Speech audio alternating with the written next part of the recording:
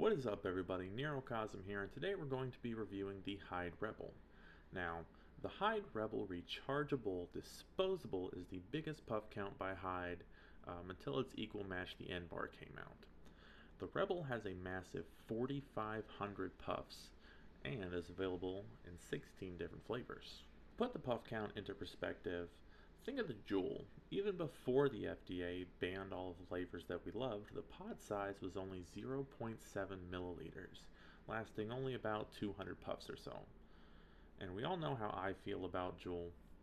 And when we parted ways, I never looked back. Bringing on its competitor, the Vuse Alto, on the other hand, they brought big improvements to the vaping foreground as far as pod system vapes bringing us a bigger pod at 1.8 milliliters and lowering its wattage to give its longevity to the puffs, even outperforming its previous Pro by giving us a 500 puff count now.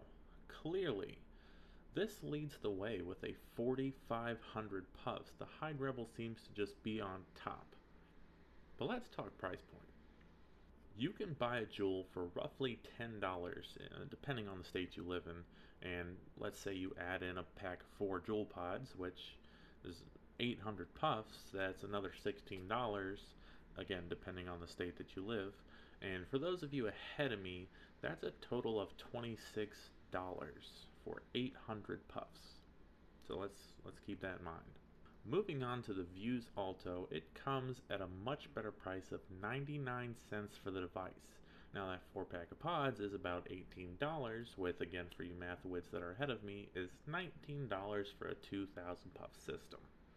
Now what about the Hyde Rebel? It beats everyone in its puffs of 4500, so it couldn't possibly be as cheap as the rest of the options, right? Well, guess again coming in at only $20. That's $1 more than the Vuse system at 2,000 puffs. Now, given that it's doubling the performance and giving you a choice between more flavors than just menthol or tobacco, the odds seem to be stacked against the competition.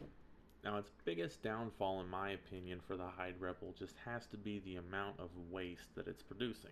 Now, we did not do an unboxing of this because it always makes me mad uh, it has the same packaging that the Hyde N-Bar is, and the link for that video will be at the end of this one.